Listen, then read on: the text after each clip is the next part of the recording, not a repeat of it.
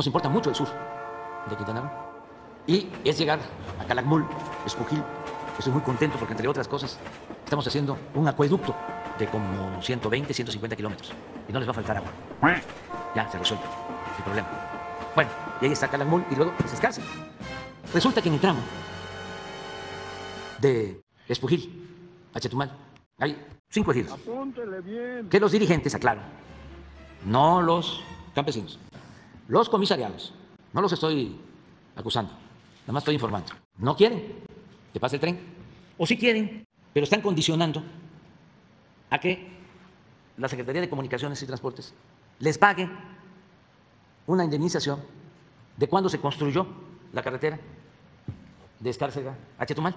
Es una demanda de hace más de 50 años. Habría que ver si ya estaban constituidos estos ejidos. Con todo respeto, ya les mandé a decir a algunos por allá de que, querían su nieve, pero aquí es querer hacer su agosto. Independientemente si se pagó o no se pagó, pues hay que ver si tienen ellos la razón. No se debe de olvidar, no solo en este caso, en todos, de que el presupuesto es dinero del pueblo. Nosotros somos simplemente administradores, porque no podemos nosotros pagar más de lo que se establece en un avalúo. Y que si es cierto de que hace 50 años hicieron la carretera, no, los indemnizaron. Entonces, además del avalúo, se considera un porcentaje. Y en este caso, el excedente podría ser para mejoras, no para los dirigentes. Mejoras en los cinco ejidos. Si no se acepta, pues nos vamos por el derecho de vía. Allá hay 40 metros. Y ya de Chetumal a Escárcega es una sola vía.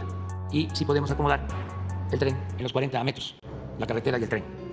Y si aún así hay bloqueos y no nos dejan, se queda el tren hasta Espujil. Y no hay tren de Espujil a Chetumal.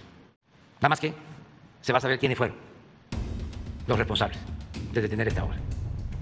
Así de claro.